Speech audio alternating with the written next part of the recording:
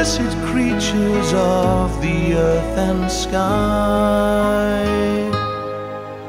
will sing their songs of gladness forever.